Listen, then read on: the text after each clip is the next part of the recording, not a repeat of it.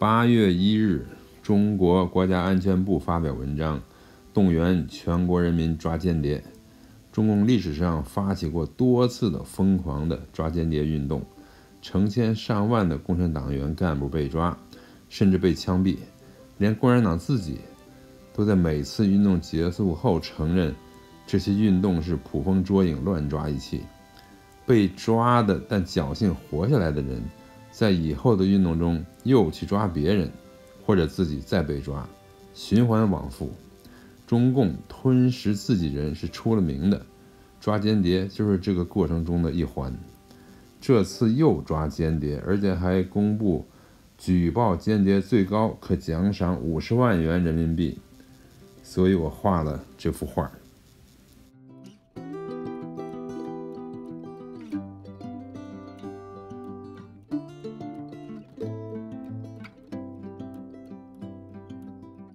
与此同时，在中共扶持下急剧增长的巨无霸房地产企业恒大，由于巨额的负债，在美国申请破产保护，而中共对恒大救还是不救，进退两难。但面对经济危机，中共基本上是缩头缩脑，不愿意出手相救。我于是画了这幅漫画。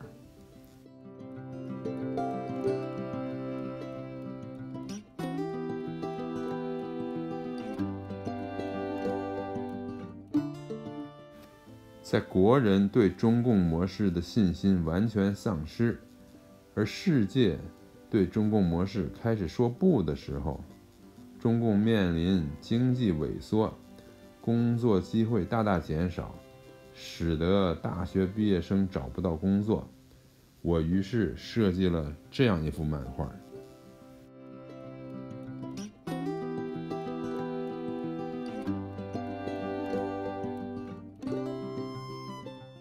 面临经济全面萎缩，中共这时候需要外资了，于是赶紧把大棒换成胡萝卜，推出二十四条，以求吸引外资。但那边抓着间谍，这边吸引着外资，它能奏效吗？我于是画了这幅中共外资政策的漫画。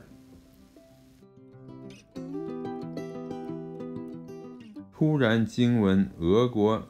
瓦格纳首领普里高金飞机失事身亡，于是我找出六月份画的漫画。当时他向莫斯科进军，向普京叫阵。